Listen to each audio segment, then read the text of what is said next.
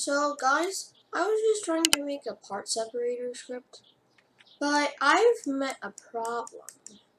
The part does separate, but it just, you know, clones. And so, oh god, okay, that's immense lag.